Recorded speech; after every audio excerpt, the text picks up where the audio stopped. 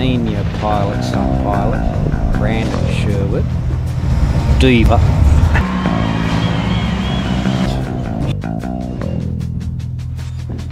Brandon, any crash landings tonight? Not tonight, but I've had a hose pop, I've fallen out of the boots. Anything else to tell the crowd?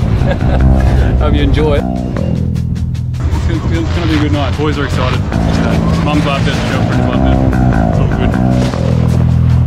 How do you feel about your near-death experience which happened last week? Oh mate, that's so many. it's nothing new. But you came in and saved me, so thanks fella. Yep, that's what I'm here to do, guys.